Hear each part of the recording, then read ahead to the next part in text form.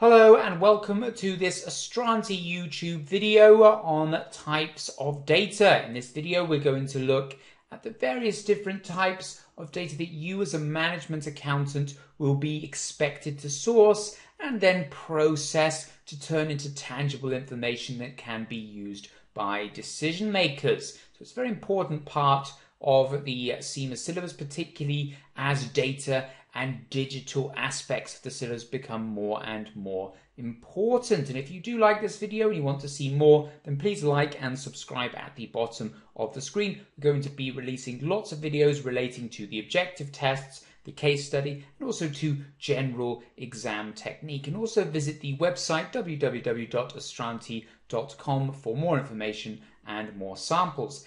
And we can break down the types of data into three key elements, whether they are quantitative or qualitative, whether it is primary or secondary data, or continuous and ad hoc data. I'm going to explain each of these and give an example, and the running example we're going to use is that of a pie shop. So what would quantitative data be for a pie shop? Well, it would be the answer to a question such as how many steak pies were sold in the last week. Now, this is something that is a fact, it is a figure, it's not open to interpretation.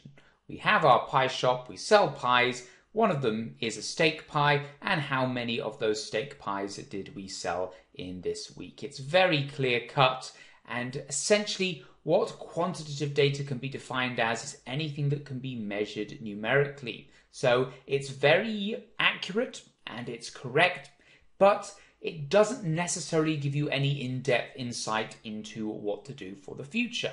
You can look at how many steak pies you've sold this week, but what does that really tell us? Does it tell us that steak pies are the thing that people actually want, or is it just that they bought them because that was all that was available? It doesn't really delve into the actual habits of the shopper. Whereas qualitative data is, is not measured numerically and it is more open to interpretation. So, an example of a question that an organization might ask if it was trying to find qualitative data would be What do the customers think about our service? Now, this can't be measured numerically. You could try and measure it numerically by giving it a score out of 10, but it's still open to interpretation. It's not as clear cut as how many pies have we sold this week. And as a result of that, it is open to interpretation. It's also open to the attitudes of the individuals at the time that they respond to your query. So, for example, if they're having a particularly bad day and they didn't want to be bothered by a survey, so they said, oh, yeah, no, it wasn't really good, so, you know, I'm going to give that a bad score, then that's not really a true reflection of the quality of service because it is based on that person's opinion and what some people find to be bad service, others will think is just okay service, for example. So, as a result, it can often be quite a lot less reliable. But the advantage of qualitative data over quantitative data is that it does provide a more in depth insight. If you score the customer service out of 10 and you get a 7 out of 10 average, then that's well and good, but it doesn't necessarily tell you how to improve. But if you ask questions relating to what they think, how they could improve. You might get people saying that they could be friendlier. You might get people saying that they could be quicker, etc. And that will be something that you can actually use to improve the customer service rather than just giving it a score. Next thing we're going to look at is whether it is primary or secondary data. And primary data is obtained for a specific purpose. It's brand new information, brand new data that doesn't currently exist and is sourced by an organization for a specific purpose. So if the pie shop wanted to uh, ask people what kinds of flavors they should introduce. So they're going out and they're actually asking people, what are these flavors that you would like to see? And then we can make a decision based on that. So as a result, it's accurate and it is reliable. This can depend on the source, how much you trust the individuals that are going out and sourcing the information. They aren't just filling out the questionnaire themselves, but it does help you to answer a very specific question. If we just want to know which new pie we should introduce, this is how we go out and source the data. And another problem with it though is that it can be very expensive. We've got to take all our stuff and we've got to go out sourcing data, asking people on the streets, etc. It's not particularly cost effective.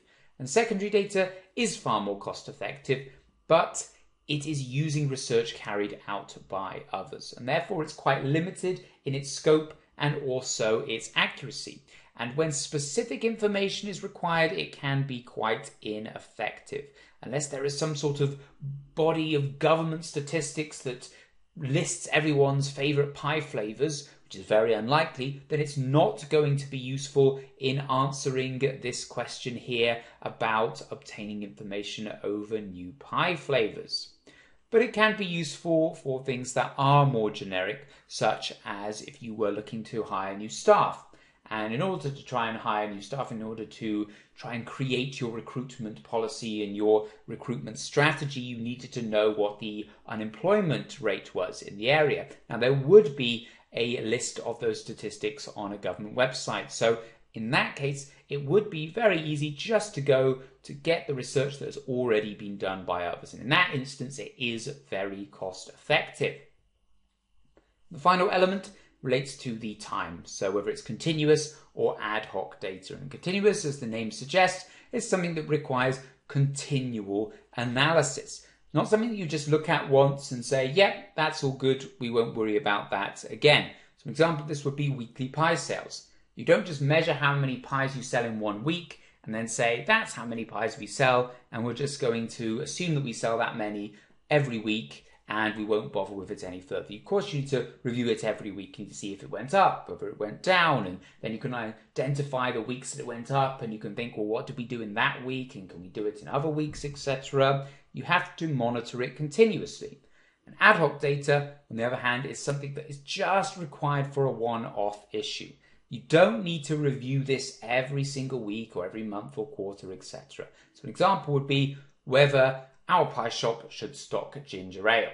So, we think, well, should we stock it? Let's do a bit of research. Perhaps we'll ask some customers as they come into the shops if you ever drunk ginger ale before, would you be interested in purchasing ginger ale? Is it one of your favorite soft drinks, etc.? And if you get a lot of negative feedback and a lot of people say that no, we don't like ginger ale, then you've got your answer. We asked quite a few people over the course of a week and they all pretty much said that they don't want ginger ale, so we won't stock it.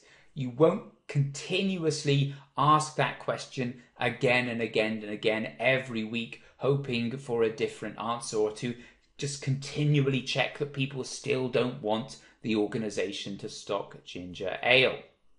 So that's a breakdown. Again, it's a very basic, very much an introduction to different types of data. There's a lot more about data in the CIMA syllabus. And if you are interested in learning more about that and you want to learn more about that, then please visit the website www.astranti.com for more information on the, the study texts and the videos that we create. But I hope this has been a good introduction into the various different types of data and perhaps a breakdown of the different elements of it. So the nature of it itself, whether it is quantitative and measured numerically, whether it's qualitative, allowing for more in-depth insight, whether it's primary data that you are specifically sourcing for a purpose, or secondary data which is useful for more general decisions but not useful for specific decisions. And finally, the time frame, whether it needs to be done regularly, such as monitoring your sales, or whether it is a particular issue that just needs monitoring on a one-off basis. And you,